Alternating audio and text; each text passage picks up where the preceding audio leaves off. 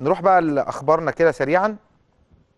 إمام عاشور جدد تعاقده آه، مع الزمالك ولينتهي آه، تعاقد إمام عاشور 2025 وكده يتبقى لإمام عاشور آه، أربع سنوات مع نادي الزمالك. كمان نروح لعبد الله جمعة اللي جدد تعاقده أيضا ل 2025 ويتبقى لعبد الله جمعة بعد ما كان عقده هينتهي هذا الموسم يتبقى له أربع سنوات قادمة آه، بإذن الله.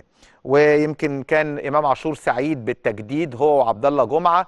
وإمام عاشور قال ده بيتي وأنا فرحان إن أنا موجود في نادي الزمالك. وعبد الله جمعة قال ده بيتي أيضا وأسعى دائما للتتويج بالألقاب مع نادي الزمالك. عايزين نقول كمان إن نادي الزمالك آه، يعني آه، آه، تعاقد مع أحد اللعيبة المتميزين جدا في الكرة الطائرة لاعب الاتحاد السكندري كابتن محمد مصطفى لعبة واللي آه، واحد من أفضل الضاربين آه، في المنتخب المصري. إضافة مهمة وقوية لنادي الزمالك ودي هذه صورته مع الكابتن الكبير كابتن حسين آه، لبيب. واضافه لفريق الكرة الطائرة بنادي الزمالك.